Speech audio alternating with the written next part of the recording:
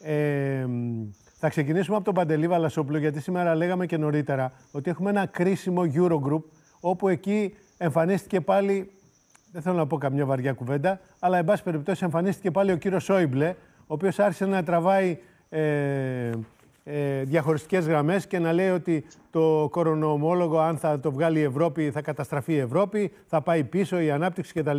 Εμφανίστηκε πάλι ο άνθρωπος, ο οποίος και στην κρίση του 2010 είχε βάλει φρένο στην ε, έκδοση του ευρωομολόγου. Παντελή μου, ο λόγος σε σένα. Καλημέρα. Ε, Καλημέρα. Δεν παίζει σπουδαίο ρόλο το τι λέει ο Σόιμπλε. Ο Σόιμπλε πια δεν έχει επιρροή στα οικονομικά θέματα της Γερμανίας. Ε, πρόεδρος της Βουλής είναι. Να πούμε ότι είχαμε σημαντικές δηλώσεις για το θέμα αυτό χθες της Καγκελαρίου.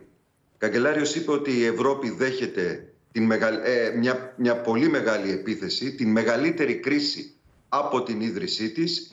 Είναι σημαντικό να μείνει ενωμένη. Χρειαζόμαστε μια ισχυρή Ευρώπη. Η Γερμανία χωρίς ισχυρή Ευρώπη δεν μπορεί να είναι ισχυρή ίδια και γι' αυτό λέει μετά την πανδημία όταν ισορροπήσουν τα πράγματα η Ευρώπη χρειάζεται ένα πολύ ισχυρό οικονομικό πρόγραμμα για την ανόρθωση της οικονομίας της. Αυτό εμένα μου ακούγεται ε, αυτό που λέμε στην Ελλάδα με δύο φράσεις ένα σχέδιο Μάρσαλ. Προς τα εκεί φαίνεται να πηγαίνει ε, τα σχέδια της Καγκελαρίου. Βέβαια για τώρα άμεσα λένε όχι στα ευρωομόλογα και δεν το λέει μόνο η Γερμανία. Το λένε όλες οι χώρες οι οποίες έχουν ε, υψηλή δανειοληπτική ικανότητα. Δηλαδή, πολλοί κόσμος, Παντελή, μου, αυτό που λέει είναι ότι οι Γερμανοί προκειμένου να μην εγκρίνουν την έκδοση ενός ομολόγου θέλουν να ρίξουν ναι. και να εγκρίνουν 500 δισεκατομμύρια, να τα ρίξουν στην αγορά, εν πάση περιπτώσει να ενισχυθούν όλες οι, οι χώρες, αλλά με τίποτα δεν θέλουν να υποχωρήσουν την αρχική τους θέση για το ομόλογο. Δεν θέλουν να αναλάβουν τα τεράστια χρέη, ειδικά της Ιταλίας, χωρίς να υπάρχει κάποιος έλεγχος για το τι θα γίνει. Γι' αυτό προτείνουν τώρα άμεσα τη λύση του ESM, δηλαδή να πάρουν τώρα οι χώρες λεφτά που χρειάζονται από τον ESM με, με χαλαρούς όρους, Δηλαδή να μην υπάρχει ένα μνημόνιο, να μην υπάρχει τρόικα, το είπε και αυτός ο Σόλτς. Και όταν ξεπεραστούν αυτά τα προβλήματα, να πάμε σε ένα μεγάλο σχέδιο Marshall. Αυτό είναι το σχέδιο μέχρι στιγμής. Άρα δεν Υπάρχουν... φαίνεται ομόλογος στον ορίζοντα. Ε, μπορεί να υπάρξει και ο συμβιβασμός ενός ομολόγου για συγκεκριμένο διάστημα και με την προϋπόθεση ότι τα χρήματα που θα δανειστούν οι χώρες θα πάνε μόνο για την υγεία. Υπάρχουν διάφορα σενάρια. Δεν είναι σίγουρο ότι θα καταλήξουν σήμερα. Ίσως πάρει και στη Σύνοδο Κορυφής που θα γίνει την Πέμπτη. Αλλά αυτό είναι περίπου το σκηνικό. Το σίγουρο είναι ότι... ότι χρειάζονται χρήματα αυτή τη στιγμή. Χρειάζονται μόνο υγεία, χρειάζονται και επιχειρήσεις και όλοι. Μόνο από τον ESM Ωραία, πάμε να τα αποκωδικοποιήσουμε τώρα. τώρα. Παντελή, πάμε να τα αποκωδικοποιήσουμε. Μπάμπη μου, ο λόγος σε σένα και στη Βούλα, ένα πρώτο σχόλιο για αυτές τις εξελίξεις. Να σας πω καταρχήν τι, τι πληροφορίες έχω εγώ. Ναι. Ε, πάμε για ένα δύσκολο Eurogroup, δεν πάμε για ένα εύκολο Eurogroup. Ε, τα πράγματα είναι περίπου όπως τα έχει περιγράψει ο, Παντε, ο Παντελής. Υπάρχουν δύο κρίσιμα ζητήματα τα οποία νομίζω ότι θα το κάνουν και το Eurogroup να κρατήσει πολύ. Το πρώτο είναι ότι ε, σαφώς δεν πάμε για ευρωομόλογο, πάμε όμως για ένα συμβιβασμό ο οποίος προβλέπει ένα είδος ευρωομολόγου, το οποίο είναι το Solidarity Fund, το οποίο θα χρηματοδοτηθεί από κεφάλαια από τις ευρωπαϊκές χώρες. Εκεί θα εξασφαλιστεί κάποιο χρήμα φθηνό για τις χώρες να ενισχυθούν. Είναι κάτι σαν ομόλογο, δεν είναι ομόλογο.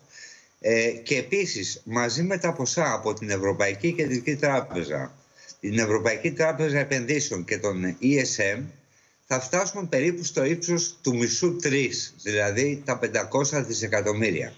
Και υπάρχει και ένα άλλο κρίσιμο σημείο στο οποίο θα δοθεί μία μάχη εάν στο κοινό ανακοινωθέν θα αναφέρεται η... αν θα αναγράφεται η ομογενοποίηση. Η ομογενοποίηση έχει να κάνει με το αν όλη η Ευρώπη θα αντιμετωπίσει με έναν ενιαίο τρόπο την κρίση την οποία τη μαστίζει. Συμπέρασμα.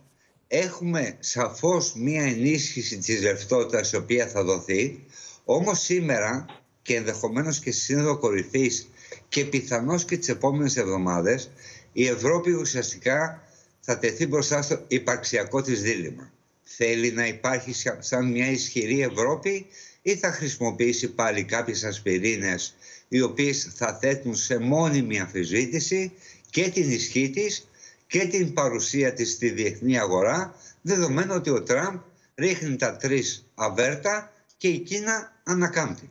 Και γιατί τώρα, Βούλα μου, να έρθουμε σε σένα και με αυτό, δεν υπάρχει ο κακός νότος. Μπορεί η Ιταλία και η Ισπανία να έχουν πολύ μεγάλο πρόβλημα, αλλά το πρόβλημα του κορονοϊού πλήττει όλες τις χώρες. Και δεν υπάρχει ο κακός νότος, δεν υπάρχει κακή Ελλάδα, έτσι δεν είναι; Κοίταξε, πάντα υπάρχει ο κακός νότος σαν αντίληψη και σαν φιλοσοφία για τις χώρες της Βόρειας Ευρώπης, αλλά εμπροκειμένου αυτό το επιχείρημα δεν μπορεί να χρησιμοποιηθεί και να αξιοποιηθεί γιατί είναι άκυρο.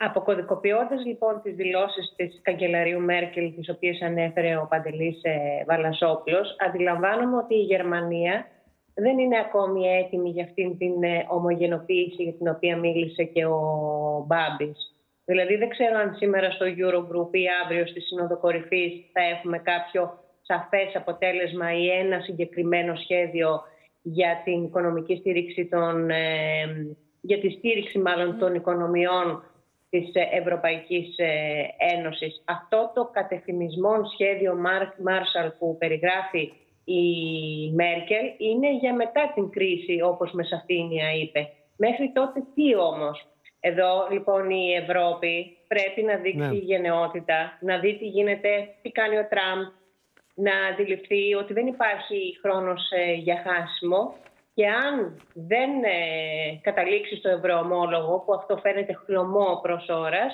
θα πρέπει να βρει άλλα εργαλεία για να αξιοποιήσει. Περιμένουμε να δούμε. Δεν υπάρχει πάντως πολύ μεγάλη αισιοδοξία. Βούλα μου, θέλω να μα δώσει τα φώτα σου, γιατί εσύ καλύπτεις και το χώρο του ΣΥΡΙΖΑ. Εχθές ο mm-hmm. αρχαιός αξιωματικής αντιπολίτευσης έδωσε μια συνέντευξη τύπου που ζήτησε να υπάρχει ένα εμπροστοβαρές πρόγραμμα 26 δισεκατομμυρίων ε, τώρα για την τόνωση και τη στήριξη της ελληνικής οικονομίας των μισθωτών των επιχειρήσεων. Έτσι, ναι. Ε, τα βασικά σημεία να μας πεις. Και μετά θέλω και ένα σχόλιο και από τον Μπάμπη. Η κατεύθυνση λοιπόν και η κεντρική φιλοσοφία όπως εγώ την αντιλαμβάνομαι και όπως περιγράφηκε από τον Αλέξη Τύπρα είναι ότι το όπλο, το εργαλείο, το βασικό που πρέπει να αξιοποιήσει αυτή τη στιγμή η ελληνική κυβέρνηση, η ελληνική πολιτεία είναι το περίφημο μαξιλάρι ρευστότητας που έχει στη διάθεσή της ε, η χώρα, το οποίο είναι περίπου 37 δισεκατομμύρια ευρώ. Τι λέει λοιπόν ο ΣΥΡΙΖΑ, τι λέει η αξιωματική αντιπολίτευση, ότι αν αξιοποιήσουμε τμήμα αυτού του μαξιλαριού, τότε θα αποφύγουμε τον δανεισμό και θα εξυπηρετούμε το χρέος, αλλά και δεν θα αυξηθεί ε, ο δανεισμός της χώρας. Υπ' αυτήν την έννοια, καλεί την κυβέρνηση να λάβει τώρα εμπροστοβαρός ε, τα μέτρα, διότι αργότερα το κόστος για την επούλωση των οικονομικών πληγών και των επιστώσεων θα είναι πάρα πολύ πιο μεγάλο. Δηλαδή, το μάρμαρο που ούτως ή άλλως θα πληρώσουμε λόγω της πανδημίας, να το πληρώσουμε πιο γρήγορα για να εξομαλύνουμε να την μην μας πάρουν τα χρέη από κάτω. Πρότεινε, Ακριβώς. πρότεινε και κρατικοποιήσεις. Ναι, πρότεινε και κρατικοποίηση εφόσον χρειάζεται. Δηλαδή για επιχειρήσεις, εθνικοποίηση ήταν ο όρος που χρησιμοποίησε ο Τσίπρας. Είπε εφόσον υπάρχουν ε, μεγάλες επιχειρήσεις δημόσιες οι οποίες χρειάζονται στήριξη, ε, δεν ξέρω σε ποιες αναφερόταν, πάει κάπου το μυαλό μου, αλλά δεν θέλω εγώ να τι περιγράψω αυτή τη στιγμή. Ίσως θα πρέπει να υπάρχει εθνικοποίηση με συμμετοχή του κράτους στο βαθμό που έχει συμβάλει ε, στη μετοχοποίηση, την άκρηση της, ε, του μετοχικού κεφαλαίου των επιχειρήσεων αυτών. Μπαμπή, το σχόλιο σου; Ε, εμένα πραγματικά μου έκανε απορία γιατί είπε κάποια, επιτέλους κάποια καθαρά νούμερα χθες ο κ. Τσίπρας. Είπε ότι το κόστος του πακέτου το οποίο προτείνει είναι 14 δις. Είπε επίσης ότι είναι άλλα... Ορίστε, το δημοσιονομικό. Ναι, το ναι. δημοσιονομικό, ναι. ναι. ναι και άλλα 12 δις τα οποία θα είναι από τις ε, χρηματοδοτήσεις οι οποίες υπάρχουν. Πόσο μας κάνει, μας κάνει 26 okay. δις αυτό. Από την άλλη παραδέχθηκε ευθέως ότι από το περίφημο μαξιλαράκι τα διαθέσιμα δεν είναι 37, είναι 20. Τα 17 είναι δεσμευμένα για το χρέος. Άρα λοιπόν, προτείνεις ένα πακέτο 26 δις. Έχεις διαθέσιμα 6 δις Τα άλλα έξι μήπως είναι κάποιο μνημονιάκι. Μήπως είναι κάποιο μνημονιάκι. Και επίσης πρότεινε τα κέρδη από, τον, ε, ESM, από τα ESNPs, από τις επιστροφές δηλαδή της Ευρωπαϊκής Κεντρικής Τράπεζας, ναι. που είναι, ε, ναι, το οποίο είναι 1,2 το χρόνο δις για το 20, το 21 και το 22. Αυτά μαζί είναι 3,6 δις. Αυτά τα 3,6 δις, ξέρετε τι σημαίνουν; Σημαίνουν επί τρία χρόνια κάθε εξάμηνο αξιολόγηση. Δηλαδή έξι αξιολογήσεις σε δύο χρόνια.